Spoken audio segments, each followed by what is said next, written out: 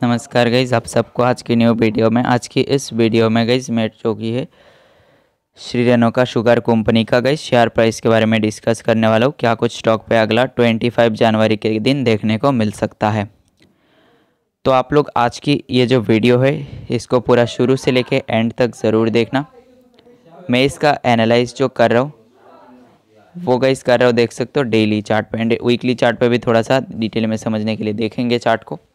Daily chart पे सबसे पहले देखें तो इस ट्रेड लाइन को फॉलो करता हुआ स्टॉक अपना रेजिस्टेंस को, यहाँ से डाउन ट्रेंड को कंटिन्यू कर रहा था। अब डेली चार्ट पे देखें अगर इसका स्ट्रॉन्ग सपोर्ट को तो गई पहला जो काफ़ी स्ट्रॉन्ग सपोर्ट इसका देखने को मिल रहा है वो है फोर्टी पे।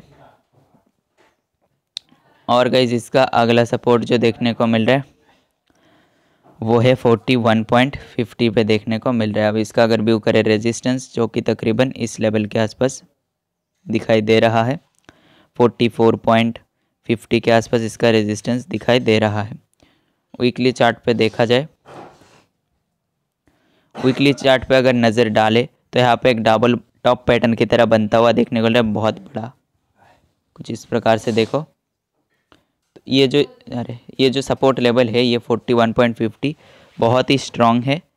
तो इससे ज़्यादा अभी डाउन जाने का चांसेस बहुत कम है, यहाँ पे सस्टेंस करने का चांसेस काफ़ी हाई है।